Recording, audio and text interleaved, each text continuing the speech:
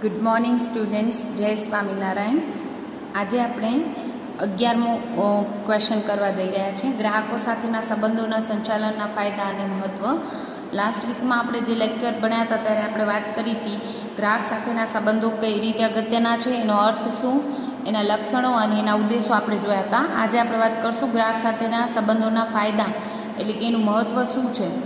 આપણે ખબર છે કે ગ્રાહક વર્ગ એ જ બિઝનેસ માટે સૌથી અગત્યની જો કોઈ વાત હોય તો એ ગ્રાહક છે. ગ્રાહકને ધ્યાનમાં રાખ્યા વગર કરેલી કોઈ પણ પ્રવૃત્તિ બિઝનેસને નિષ્ફળતા તરફ લઈ જાય છે. એમ આપણે કહી શકીએ. એટલે જ કસ્ટમર રિલેશનશિપ મેનેજમેન્ટ એટલે કે સીઆરએમનો ખ્યાલ આવે આવેલો છે. આ સીઆરએમનો ખ્યાલ એક હેતુલક્ષી પ્રવૃત્તિ છે અને એ તમને ગાંધીજીના શબ્દોમાં એક વાક્ય આપેલું છે. કે a customer is a most important visitor on our premises he is not dependent on us we are dependent on him એ આપણા ઉપર ડિપેન્ડન્ટ નથી આપણે એના ઉપર ડિપેન્ડન્ટ છીએ he is not an interruption on our work he is the purpose of it he is not an outsider in our business he is a part of it we are not doing him a favour by serving As such he is doing us favour by giving the opportunity to us એની સેવા કરવાનો એ આપણે મોકો આપે છે ને, એ આપણે એક આપેલી તક છે, એમ કહી શકાય. એમ ચોક્કસ કહી શકાય કે જે ધંધાકીય એકમ ગ્રાહકની કાળજી નહીં રાખે, તે લાંબો સમય હરીફાઈમાં ટકી શકે નહીં. અને પૂર્ણ હરીફાઈવાળા બજારમાં જે ધંધાકીય એકમો ગ્રાહકની અવગણના કરે, તેને ગ્રાહકો જોતા પણ નથી. તેથી ગ્રાહકો સાથે સારા સંબંધો કેળવવા અને જાળવવા એ ધંધાકીય એકમના હિતમાં છે. એટલે કે દરેક એકમે, અત્યારે તો કેટલી હરીફાઈ છે માર્કેટમાં, એમાં દરેક એકમે ગ્રાહકોને સાથે સારા સંબંધો જાળવવા મહત્ત્વના થઈ જાય. ગ્રાહક સાથે સંબંધો જો જાળવ્યા હોય તો એ સંચાલનના ફાયદા શું છે? તો કે પહેલું છે અસરકારક માર્કેટિંગ વ્યૂહરચના. આપણે આગળ ભણ્યા હતા કે ગ્રાહક સંબંધોનું સંચાલન કઈ રીતે કરવામાં આવે, તો કે વિવિધ એ લોકોની ફરિયાદો કે સૂચનો હોય એને ધ્યાનમાં લેવામાં આવે, એ લોકો પાસેથી વિવિધ માહિતી લેવામાં આવે, ગ્રાહકો સાથે વાતચીત દ્વારા જે માહિતી મળે છે, માહિતી સંચાર કરીને, એ માહિતીના આધારે આપણે શું કરી શકીએ? એ લોકોની ખરીદ વર્તણૂકનો અભ્યાસ કરીએ, એ લોકોની ટેવ કેવી છે, કઈ ફેશન પ્રમાણે કેવું રીતનું વર્તન કરે છે એટલે સામાજિક ને મનોવૈજ્ઞાનિક જે માહિતી મળે છે, એના આધારે આપણે અસરકારક માર્કેટિંગ વ્યૂહરચના નક્કી કરી શકીએ છીએ. પહેલો ફાયદો કે આપણે અસરકારક માર્કેટિંગ વ્યૂહરચના બનાવી શકીએ. બીજું છે ગ્રાહકોની જાળવણી થઈ શકે. હવે એમના પાસેથી તમામ માહિતી મેળવીને આપણે એમની જરૂરિયાતોનો ખ્યાલ આવે છે. એટલે એની જરૂરિયાતો સંતોષવા આપણે પ્રયત્ન કરીએ, તો આપણે ગ્રાહકોને સાચવી શકીએ અને એમને મહત્તમ સંતોષ આપી શકીએ. ગ્રાહકોને જાળવણીનો બીજો મહત્ત્વનો ફાયદો થાય છે. ત્રીજો ફાયદો છે કાયમી અને આજીવન ગ્રાહક વર્ગ ઊભો થાય છે. એકવાર મળેલો ગ્રાહક જો ગ્રાહક સંબંધોનું સંચાલન યોગ્ય રીતે કરશું, તો એમ કહી શકાય કે એ લાંબા ગાળાના ફાયદા અપાવશે. કારણ કે ટૂંકા ગાળા માટે લાભ મેળવવાનો ગ્રાહક સંબંધોના સંચાલનનો હેતુ નથી. એ લાંબા ગાળે ધ્યાન રાખે છે કે કોઈ પણ ગ્રાહકને એકવાર આવેલો છે એને એવી સેવા પૂરી પાડો કે જે એકવાર નહીં પડી બીજી વાર પણ આપણી કંપનીએ આવે કે આપણી જ વસ્તુ ખરીદતો થઈ જાય. એટલે કાયમી અને આજીવન ગ્રાહક વર્ગ ઊભો કરવાનો ફાયદો થાય છે. ચોથું છે ગ્રાહકોની સંખ્યામાં વધારો. સીઆરએમની પ્રવૃત્તિથી શું થાય? ગ્રાહકોનું અનુકૂળ વેલણ પેદા થાય. એ લોકો આપણી તરફ આકર્ષાય, એ લોકોને સારી સુવિધા મળે એટલે સંતોષાય એવી પ્રવૃત્તિ કંપની કરે છે સીઆરએમની પ્રવૃત્તિ દ્વારા. એટલે દર વર્ષે થોડો થોડો ગ્રાહકો જે ઓલરેડી જૂના ગ્રાહકો છે એ તો જળવાશે જ. અને નવા ગ્રાહકો મળતા જશે એમ પ્રતિ વર્ષ થોડો થોડો ગ્રાહકોની સંખ્યામાં વધારો થતો જાય છે. પાંચમું છે, પેદાશનું અસરકારક આયોજન થઈ શકે. પેદાશનું અસરકારક આયોજન કઈ રીતે?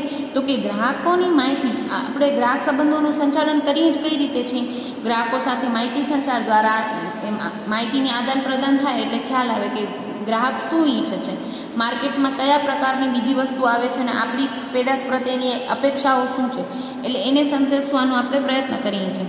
એટલે તમામ જે માહિતી મળે છે એમની પાસેથી, એના આધારે આપણી પેદાશમાં કોઈ ફેરફાર કરવા જરૂરી છે કે નહીં?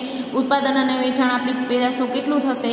એના તરફ આપણે ખ્યાલ આવે એટલે આયોજન ઘડી શકીએ, જેથી આપણી શક્તિ, સમય અને સાધનનો મહત્તમ ઉપયોગ કરીને વધુ પ્રોડક્શન તરફ ધ્યાન આપી શકીએ. છઠ્ઠું છે, વસ્તુ વિકાસનું આયોજન થઈ શકે. હવે ગ્રાહક સંબંધોના સંચાલનમાં શું થાય છે કે વસ્તુ વિકાસ એટલે શું પહેલું તો?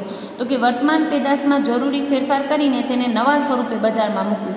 આપણે ખબર છે કે અત્યારે એટલી હરીફાઈ છે કે દરરોજ કંઈક નવું આવે છે અને ગ્રાહક દરરોજ કંઈક નવું ઈચ્છે છે. તો આવા સમયગાળામાં આપણી પેદાશ એકને એક જેવી રાખશું તો કોઈ ગ્રાહકો ધીમે ધીમે આપણે જતા કરવા પડશે. એટલે સમયસર પેદાશની ડિઝાઇન, કદ, વજન કે સુગંધ કે રંગ કે પેકિંગમાં ફેરફાર કરીને નવીનતા લાવવી બહુ જરૂરી બને છે. અને આવા સમયે આપણે ગ્રાહકોથી જો માહિતી મેળવશું, એમના ફરિયાદો કે સૂચનો કોઈ આવ્યા હોય, તો એનો અમલ કરીને પેદાશમાં મહત્ત્વના ફેરફાર કરીને કંઈક નવીન સ્વરૂપે મૂકશું, તો વસ્તુ વિકાસનું આયોજન પણ કરી શકશું. એટલે કે આપણે એમને, એમની પાસેથી મળેલી માહિતી, એમના તરફથી મળેલા સૂચનોને ધ્યાનમાં રાખીને વસ્તુની ડિઝાઇન, કદ કે સુગંધ, રંગ કે પેકિંગમાં ફેરફાર કરી શકીએ અને વસ્તુ વિકાસનું આયોજન કરી શકીએ છીએ. સાતમું છે, વેચાણ પછીની સેવા માટેનું અસરકારક આયોજન થઈ શકે. હવે વસ્તુ, હવે સૌથી મહત્ત્વનું તો ગ્રાહકને ટકાવી ક્યારે રાખી શકાય? વસ્તુ વેચાણ તો કોઈ પણ કરી દે છે, પણ વેચાણ પછીની સેવાઓનું મહત્ત્વ અત્યારે વધી રહ્યું છે. કારણ કે જેટલી વેચાણ પછીની સેવાઓ ઇફેક્ટિવ હશે ને એટલું ગ્રાહક તમારું રિટેન્શન રેશિયો વધી જાય. એટલે કે ગ્રાહક ટકવાની જે વાત છે એ વધી જાય. કારણ કે તો એ નવા, આપણી સેવાઓ સારી નહીં હોય, તો એ બીજા પાસે જશે. જો આપણે સારી સેવાઓ આપશું, તો એ આપણી પાસે ટકવાનું વલણ ધરાવશે. વિવિધ સેવાઓ જોઈએ તો આપણે હોમ ડિલિવરીની સગવડ છે, ફ્રી ડિલિવરી આપતા હોઈએ. પછી સમારકામ કે જાળવણી કંઈ વસ્તુ બગડી જાય આપણે આપેલી, તો અમુક સમય સુધી કોઈ પણ કંપની ફ્રીમાં કરી આપે. પછી ગેરંટી, વોરંટી માલ બદલી આપવો કે ફરીથી પેકિંગ કરી આપવા જેવી વેચાણ પછીની જે સુવિધાઓ છે એ જો નિયમિત રીતે મળે ને, તો પેઢીનું મૂલ્ય જળવાઈ રહે. જો અનિયમિત સેવાઓ આપવામાં આવશે, તો કંપનીની પ્રતિષ્ઠાને હાનિ પહોંચે એ મહત્ત્વનું છે. એટલે આપણે વેચાણ પછીની સેવાઓનું અસરકારક આયોજન પણ આ સીઆરએમ દ્વારા કરી શકીએ છીએ કે ભાઈ નિયમિત સેવાઓ મળે. કારણ કે એકવાર વસ્તુ બગડી ગઈ, તમને એની ફરિયાદ પણ આવી છે. અને તમે બે ત્રણ મહિના રહીને પછી સમારકામ કે જાળવણી કરવા જાઓ તો એ ગ્રાહક તમારી પાસે બીજી વાર આવે. નહીં એટલે વેચાણ પછીની સેવાઓનો અસરકારક આયોજનનો ખ્યાલ પણ સીઆરએમ દ્વારા આપણે આવી શકે છે. આઠમો ફાયદો છે, અસરકારક વેચાણ અંદાજપત્ર ઊભું બનાવી શકીએ. હવે, આમ તો વેચાણ અંદાજપત્ર બનાવવું અંદાજો મૂકવા સરળ નથી. એટલે અમુક માહિતી મળે તો એના આધારે અસરકારક અંદાજપત્ર બને. કારણ કે અંદાજ તો ભાવિ નિશ્ચિત નથી હોતું, એટલે કેટલું વેચાણ થશે એ નિશ્ચિત નથી હોતું. પણ સીઆરએમની પ્રવૃત્તિ જો આપણી કંપની કરતી હશે, તો કાયમી ગ્રાહક વર્ગ ઊભો થશે. એટલે એના આધારે આપણે ખબર પડી જશે કે આટલું વેચાણ તો થશે જ. પછી થોડા પાછલા વર્ષના અનુમાનોના આધારે, છેલ્લા વર્ષના આંકડાઓની માહિતી લેશું અને એના આધારે આપણે થોડુંક અનુમાન કરીને આપણે વેચાણ અંદાજપત્ર પણ અસરકારક રીતે તૈયાર કરી શકશું. નવમો ફાયદો છે સંશોધન અને વિકાસ વિભાગને માર્ગદર્શન. હવે દરેક કંપની જેમ એચઆરએમનો ખ્યાલ અપનાવે છે હ્યુમન રિસોર્સ મેનેજમેન્ટ માનવ સંસાધન વિભાગ એક અલગ બનાવે છે, એમ ઘણી બધી કંપનીઓ આજે આર એન્ડ ડી ડિપાર્ટમેન્ટ પણ અલગ બનાવ્યો છે રિસર્ચ એન્ડ ડેવલપમેન્ટ વિભાગ, સંશોધન અને વિકાસ વિભાગ. કારણ કે અત્યારે માર્કેટમાં ટકવું હોય ને તો નવું શું આવી રહ્યું છે એનાથી પરિચિત રહેવું દરેક કંપની માટે જરૂરી બન્યું છે. તો આ સંશોધન વિભાગને પણ આપણે એનું સતત નવી નવીનતા શું આવે છે એ જાણવા માટે ઉત્સુક હોય છે. તો ગ્રાહકો કેવી પેદાશની અપેક્ષા રાખે છે એ જે માહિતી મળે ગ્રાહક તરફથી, તરત જ આર આર એન ડી સેલને આપણે આપી દઈશું. એટલે સંશોધન પ્રવૃત્તિને એ લોકો શું કરી શકે? ગ્રાહકોની અપેક્ષાની રીતે વાળી શકે. એટલે ગ્રાહક ઈચ્છે છે એવી પેદાશમાં ફેરફાર કરીને નવી સંશોધન પ્રવૃત્તિ કરી શકે. દસમો ફાયદો છે પેદાશ શ્રેણીમાં વધારો. પેદાશ શ્રેણી એટલે શું? દાખલા તરીકે આપણે શેમ્પૂની વાત કરી હતી તો એક એક કંપની હોય એની એક એક નહીં, પણ બે, ત્રણ ટાઈપની એક જ ટાઈપની પ્રોડક્ટ આવતી હોય. સિમિલર થોડી થોડી ચેન્જવાળી જે પ્રોડક્ટ શ્રેણી આવે. તો એ પ્રોડક્ટ લાઈન ઊભી કરવી કે પેદાશ શ્રેણીમાં વધારો કરવા માટે? પણ શું માહિતી હોવી જરૂરી છે? કે ગ્રાહકો કઈ પેદાશની અપેક્ષા રાખે છે? કઈ કંપનીમાં ઘણી બધી પ્રોડક્ટ બનતી હોય? દાખલા તરીકે કોઈ સાબુ, શેમ્પૂ બનાવતી કંપની હોય તો પાઉચમાં બનાવતી હશે, બોટલમાં, એવી રીતે અલગ અલગ પેકિંગમાં બનાવતા હોય, એ અલગ અલગ ફ્લેવરના સુગંધવાળી બનાવતા હોય.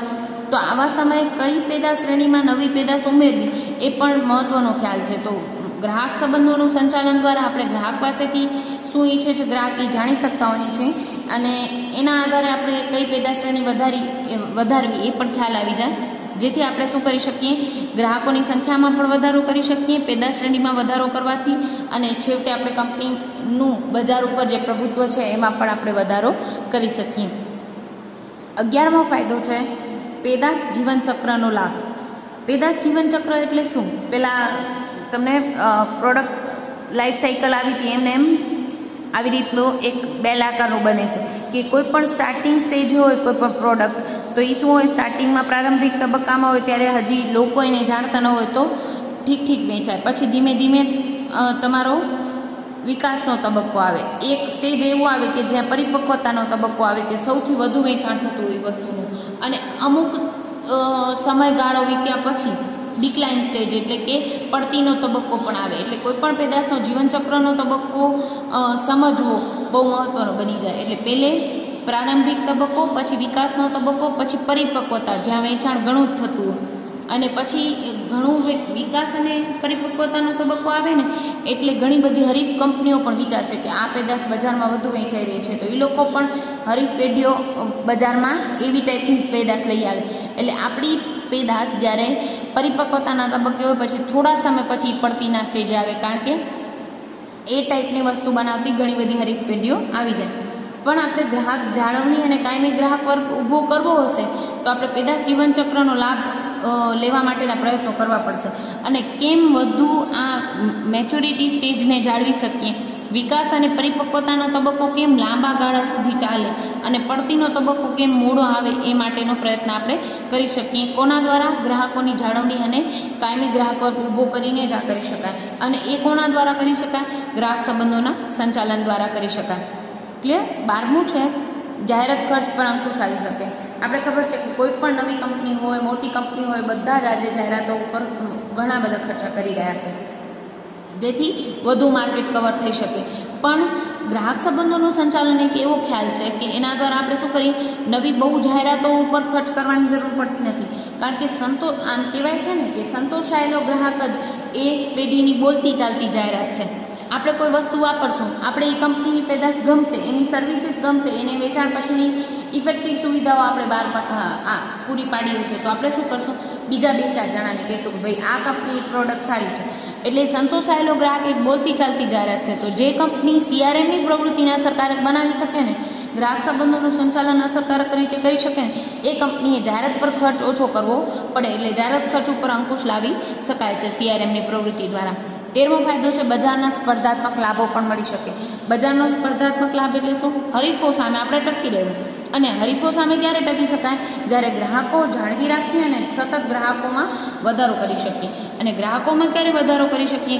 જૂના ગ્રાહકો જાળવી શકીએ અને નવા વધારી ક્યારે શકીએ? જ્યારે ગ્રાહકલક્ષી અને વિતરકોલક્ષી આપણે લાભો પૂરા પાડ્યા હશે કંપનીએ, તો એવી સંચાલકોએ નીતિ બહાર પાડવી પડે. બીજું એ પ્રકારની પેદાશ, એની કિંમત અને એની પેકિંગ ઉપર ને વેચાણ પછીની સેવાઓ ઉપર પણ ફોકસ કરીને અસરકારક માર્કેટિંગ વ્યૂહરચના ઘડવી પડે. અને આ બધું કોના આધારે શક્ય છે? સીઆરએમની પ્રવૃત્તિના આધારે. કારણ કે એમાં આપણે ગ્રાહકોની કાળજી લઈએ છીએ, ગ્રાહકોની અપેક્ષાએ સંતોષવા પ્રયત્ન કરીએ છીએ. એટલે બજારના સ્પર્ધાત્મક લાભો આપણે મેળવી શકશું અને હરીફો સામે પ્રભુત્વ મેળવી શકશું. ચૌદમું છે પ્રતિષ્ઠામાં વધારો. હવે જે કંપનીના ગ્રાહક વર્ગ વધુ હશે, એ અને ગ્રાહકો સાથેના સંબંધોનું સંચાલન અસરકારક રીતે કરતી હશે, એ કંપનીની પ્રતિષ્ઠા ઓટોમેટિકલી ધીમે ધીમે વધારો થાય છે. અને સમાજ પણ આવી પેદાશોને, આવી જ કંપનીઓની પેદાશોને સ્વીકારતી હોય છે. એટલે આમ કહી શકાય કે સીઆરએમનું મહત્ત્વ માર્કેટિંગની દ્રષ્ટિએ અને સંચાલકોના કાર્યની દ્રષ્ટિએ વિશેષ છે. આ પ્રવૃત્તિ પાછળ સંચાલકો નોંધપાત્ર ખર્ચ કરે છે. પણ આ ખર્ચ ખર્ચ નથી એ શું છે? નફાકારક રોકાણ છે, એમ આપણે કહી શકીએ.